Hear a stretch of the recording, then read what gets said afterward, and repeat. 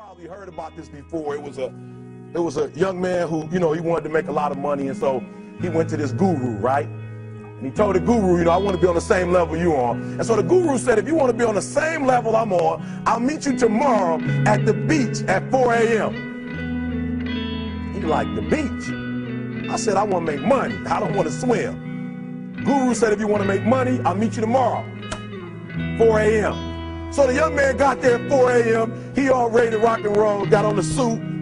Should have worn shorts. The old man grabs his hand, said, how bad do you want to be successful? He said, real bad. He said, walk on out in the water. So he walks out into the water. Watch this. When he walks out into the water, it goes waist deep. So he like, this guy crazy. Adrian, like, I want to make money. He got me out here swimming. I didn't ask to be a lifeguard. I want to make money. He got me in. So he said, come out a little further. Walked out a little further. Then he had it right around this area, the shoulder area. So this old man crazy. He's making money, but he crazy. He said, come on out a little further. Came out a little further. It was right at his mouth. My man like, I'm about to go back in here. This God is mine. So the old man said, I thought you said you wanted to be successful. He said, I do. He said, walk a little further. He came, dropped his head in, held him down, hold him down. My man getting scratching, holding him down. I got you. I know you brushed it out, but I got you. He had him held down. I need you for illustration. He had him held down just before my man was about to pass out. He raised him up. He said, I got a question for you. Somebody answer the question for me. He said, when you were underwater, what did you want to do? Lee, I'm looking for a different word though than. What's that word? Said I wanted to breathe. He told the guy, he said, when you want to succeed as bad as you want to breathe, then you'll be successful. I don't know how many y'all got asthma in here today, but if you ever had an asthma attack before, you short of breath, SOB, shortness of breath, you wheezing. The only thing you trying to do is get some air.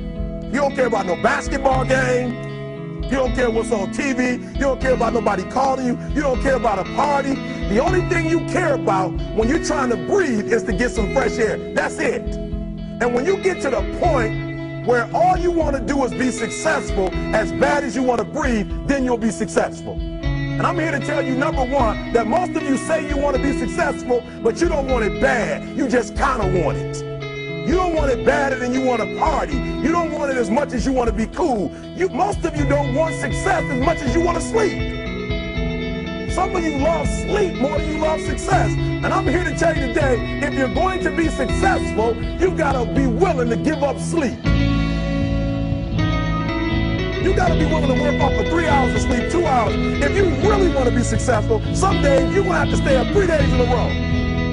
Because if you go to sleep, you might miss the opportunity to be successful. That's how bad you gotta want it. You gotta go days without, listen to me, you gotta wanna be successful so bad that you forget to eat.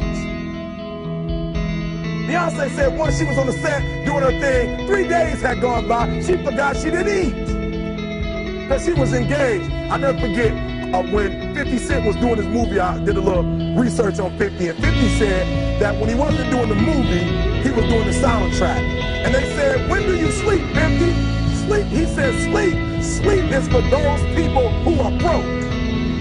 I don't sleep.